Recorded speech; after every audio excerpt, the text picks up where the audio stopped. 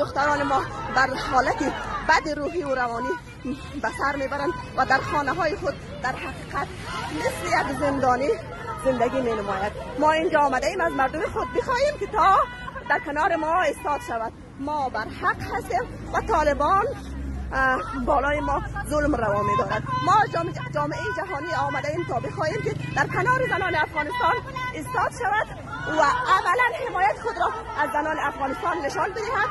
این وضعیت غیر قابل تحمل است. این وضعیت نتایج زیانبار را برای زنان افغانستان به بار آورده است.